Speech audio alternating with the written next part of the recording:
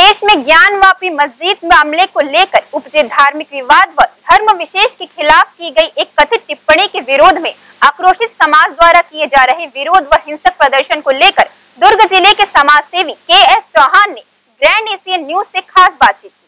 पेश है grand Asian news से हुई खास बातचीत। नमस्कार दर्शकों, ग्रैंड एशियन की इस खास पेशकश में एक बार फिर आप सभी का स्वागत है। मैं हूँ शाहिन खान और आज हम चर्चा करने जा रहे हैं धर्म की राजनीति को लेकर। जी हाँ दर्शकों, अगर किसी देश की शांति को भंग करना है, किसी देश की शांति व्यवस्था को बर्बाद करना है या कहना है कि आपस में लड़ाकर राजनीति रोटियाँ सेकना है तो धर्म के नाम पर लड़ा दो और फिर देखो कि देश में किस तरह शांति व्यवस्था भंग होती है। हम शांति व्यवस्था किस तरह रहे और धर्म उसमें किस तरह आड़े आ रहा है, इसे लेकर आज चर्चा करने जा रहे हैं के चौहान जी से। के चौहान जी भाजपा के जिला मीडिया प्रभारी हैं और समाज सेवी भी हैं। इस वक्त वो हमारे साथ स्टूडियो में मौजूद हैं हम उनका स्वागत करते हैं। सर आपसे चर्चा करेंगे धर्म को लेकर जो राजनीति की जा रही है उस पर तो सबसे पहले बताएँगे एक मुद्दा ज्ञान व्यापी मस्जिद का है जो। उस ज्ञान व्यापी मस्जिद को आप किस नज़रिए से देखते हैं संपत्तिवाद या फिर आस्था का प्रतीक? देखिए ये विवेक का प्रतीक है। विवेक ये बोलता है कि देश काल और परिस्थिति के हिसाब से जो सही है वो चीज़ करी जाए। आज हो सकता है कि जैसे कोई कानून हम बनाते हैं तो उसको संशोधन करने के लिए क्यों हमारे पास ऑप्शन होते हैं? क्योंकि जो आज कानून बनाया है, हो सकता है कि आगे चल के वो, वहाँ की जनता के लिए, वहाँ के आबो हवा के लिए वो मुनासिब ना हो तो उसको बदला जा सके, उसमें संशोधन किया जा सके। वैसे ही है कि जो ज्ञान व्यापी जो मामला है, जब बाहरी आक्रांताएँ आई तो उन्होंने बाहरी आक्रांताएँ एक क्या होता है कि उनको किसी मज़हब से कोई लेना देना नहीं रहता है, मैं आपको बता कोई मज़हब से कुछ नहीं लेना देना रहता है। उन्हें सिर्फ़ राज करना है। और राज करने के लिए ही वो धर्म का यूज़ करते हैं। धार्मिक चीज़ों को वो बढ़ावा देते हैं या उसे ड्रॉप करवाते हैं। या और भोले भाले लोगों का जो धर्म में आस्था रखते हैं, जिनको ये मालूम नहीं है कि एक्चुअल में धर्म क्या है। तो जो एक्चुअल में धर्म ये नहीं जानते हैं, जो जागरूक बहुत अच्छे से नहीं है, उनको बरगला सके, उनको एक चीज़ में बाँध सके, इनको इमोशंस से खेल सके। और कभी भी हम, कोई भी होता है तो हम आराध्य, हमारे जो लोग होते हैं, हमारे देवता होते हैं, आराध्य देवता होते हैं हम किसी चीज़ से, किसी समाज से जुड़ना चाहते हैं, बंधे रहना चाहते हैं। तो उसके कारण हमें, हमारे साथ खेला जाता है। ये विवेक का मामला है।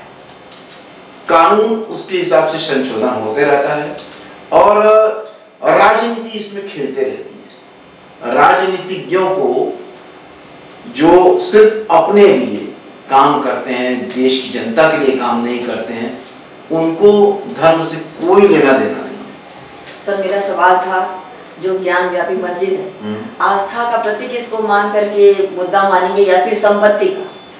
ये कहीं संपत्ति का मामला हो सकता है और कहीं आस्था का मामला हो सकता है। और हमारे देश की जो गीता है हमारे देश की जो जो संविधान है संविधान के हिसाब से जो कानूनी रूप से अगर ये जहाँ पर प्रॉपर्टी का मामला होगा तो वहाँ पर वो उस नज़रिए से उसका अवलोकन किया जाएगा। और जहाँ संस्था आस्था का मामला होगा आस्था किसी को ठेस ना पहुंचाई जा सके। हमारी जो जनता है वो ठीक से रहे और उनकी आस्थाओं के साथ ठेस ना पहुंचाई जाए किसी की भी। हम सम, हमारा संविधान क्यों बना कैसे बना है मालूम है?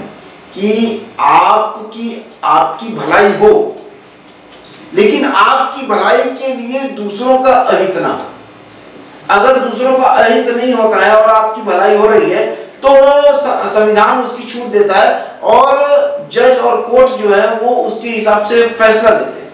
तो ये कहीं ना कहीं राजनीतिक मामला भी है और आस्था का मामला भी है और कानूनी का कानून के हिसाब से भी मामला है। अभी अब सुर्खियों में अगर मामला देखें तो नुपुर शर्मा जो राष्ट्रीय प्रवक्ता है उनका गरमाया हुआ है भाजपा के राष्ट्रीय प्रवक्ता नुपुर शर्मा जिन्हें पार्टी ने छह साल के लिए निष्कासित किया है उनके द्वारा की गई कथित टिप्पणी के बाद पूरे देश के मुस्लिम समाज में आक्रोश तो है। हम्म। इस पर आपकी क्या राय? ऐसा बोलना कि पूरे देश के मुस्लिम समाज में आक्रोश है। और किसी भी मैं ये समझता नहीं हूँ पर्सनली तौर पे क्योंकि जो नुपुर शर्मा जी का ये व्यक्तिगत व्यक्तिगत ये टिप्पणी हो सकती है। लेकिन भारतीय जनता पार्टी या कोई समाज की टिप्पणी नहीं हो सकती है। इसीलिए जो उनको कारण भी बताया गया है निष्कर्ष जो छः साल के लिए उन्हें किया गया है तो उसमें ये भी बोला गया है कि जो आपने बोला है वो पार्टी लाइन में नहीं है। पार्टी लाइन के अनुसार नहीं है। पार्टी लाइन के अनुसार तो न्याय के हिसाब से बोला जाता है। भारतीय जनता पार्टी के सभी पदाधिकारी और सभी जो कार्यकर्ता हैं, वो अपने हिसाब से नहीं, अपन संगठनात्मक हिसाब से चलते हैं।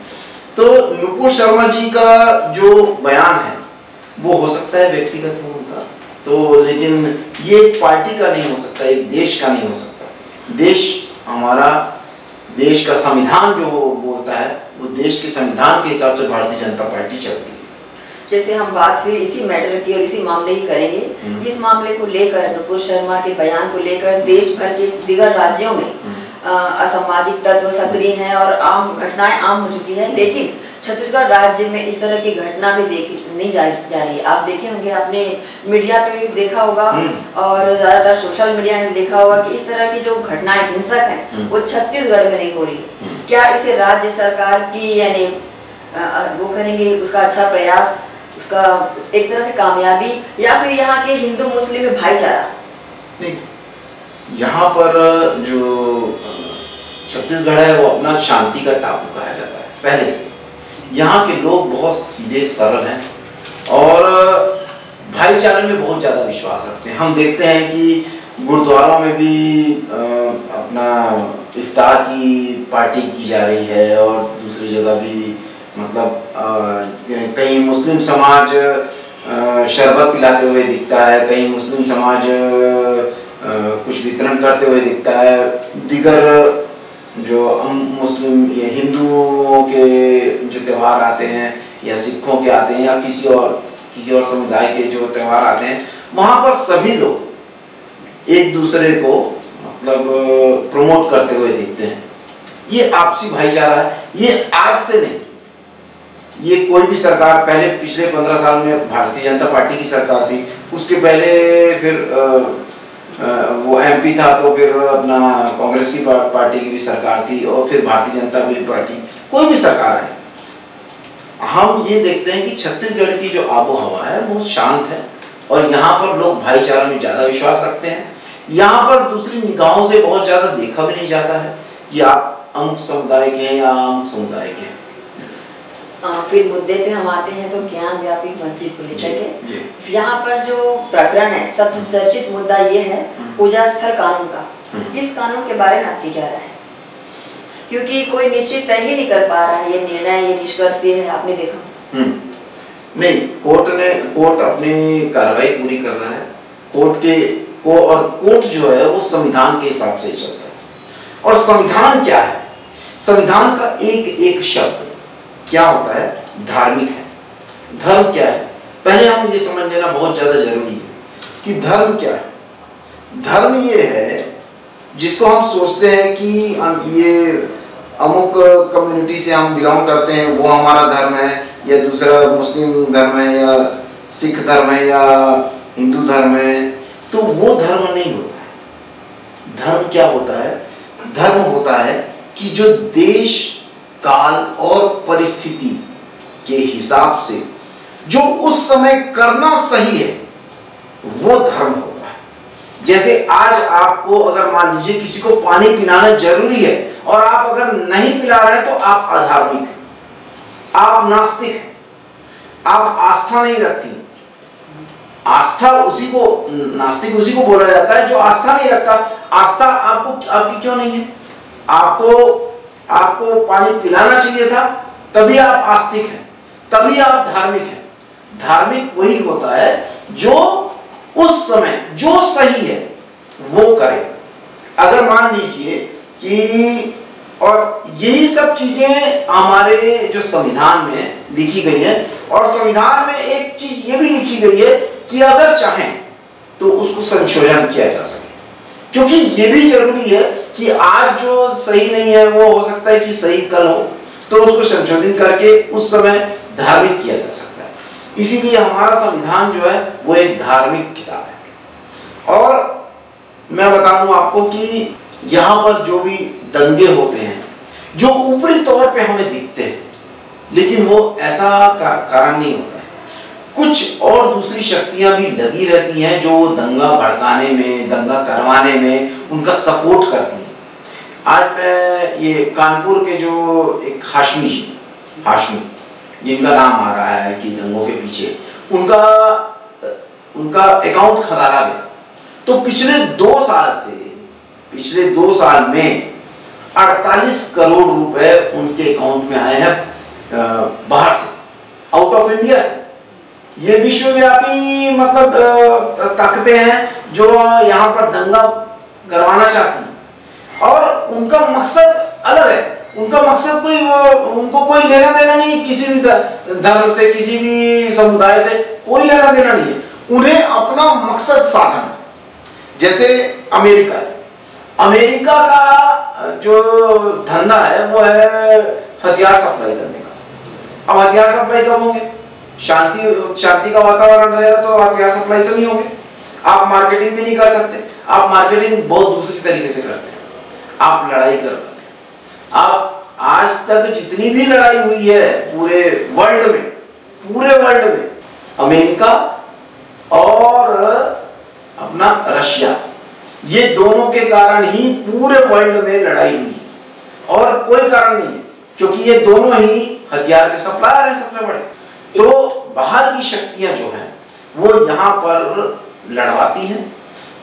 नुपुर शर्मा जी का और ज्ञान ज्ञानवापी का तो अभी कुछ महीनों में ये आ, मामला है ठीक है? लेकिन पहले से ये तैयारी क्योंकि कानपुर का जो रिपोर्ट आई है अभी तो कानपुर में ऐसा लग रहा था कि प्रायोजित दंगे पहले से सोच के रखा हुआ है कि दंगे करवाने हैं। ये मामला आ गया सामने तो इस मामले में दंगे करवा दिए।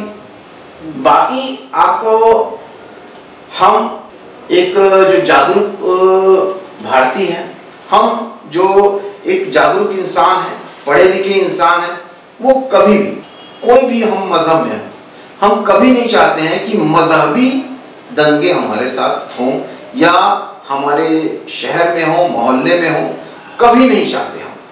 क्योंकि हम अपने पड़ोसी को क्या बोलेंगे? कि तू हिंदू है, तू मुस्लिम है, तू सिख है, ईसाई है, जैन है, बौद्ध है, पारसी है, भाई है। हम उससे लड़ने लग जाएँगे।